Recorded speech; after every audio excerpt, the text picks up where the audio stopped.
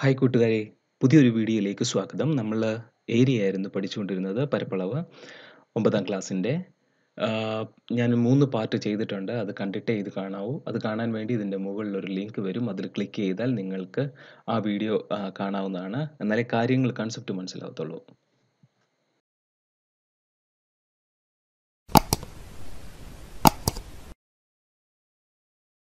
നമുക്ക് പാഠം തുടങ്ങുന്നതിന് മുമ്പ് നമുക്ക് ക്വാർട്ടർ ലാറ്ററൽ അല്ലെങ്കിൽ ചതുർഭുജം എന്താണെന്ന് മനസ്സിലാക്കാം.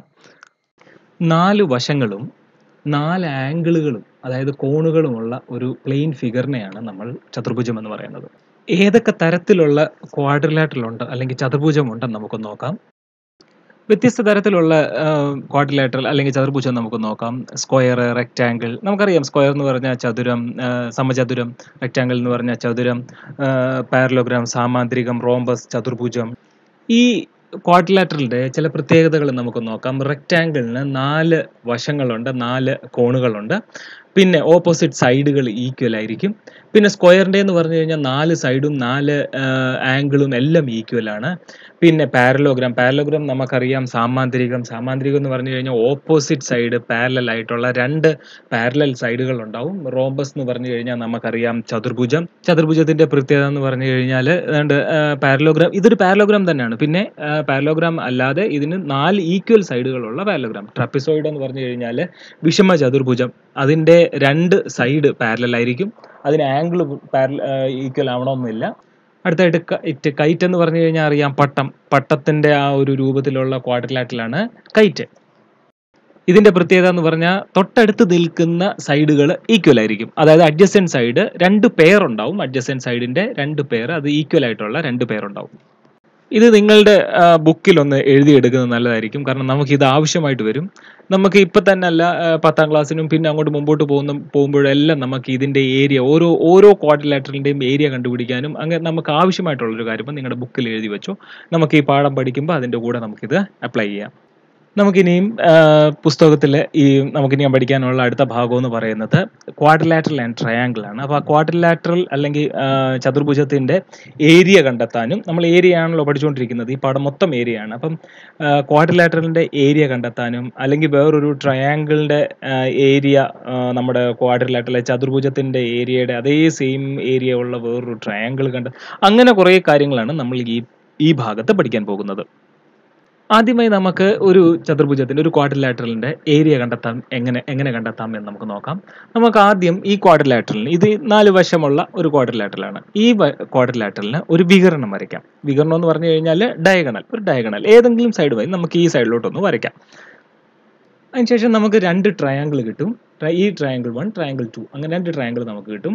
എന്നിട്ട് നമ്മൾ ഫസ്റ്റ് പാർട്ട് തൊട്ട് പഠിക്കുന്നത് പോലെ തന്നെ ബി ഡിക്ക് പാരലായിട്ട് ഒരു ലൈൻ വരയ്ക്കും. എന്നിട്ട് ഈ ബി ഡിയെ ബേസ് ആക്കി വെച്ച് നമ്മൾ ഒരു ട്രയാങ്കിളും കൂടെ വരയ്ക്കും. നമ്മൾ നേരത്തെ പഠിച്ചതുപോലെ തന്നെ ബി അതായത് ഒരു ബേസിൽ അതേ വെർട്ടീസസിൽ തന്നെ അതിന്റെ പാരലൽ ലൈനിൽ വേറൊരു വെർട്ടീസിൽ നമ്മൾ എവിടെ ട്രയാങ്കിൾ വരച്ചെന്ന് പറഞ്ഞാലും ഏരിയ സെയിം ആയിരിക്കും. നമ്മളത് നേരത്തെ പഠിച്ചതാണ്.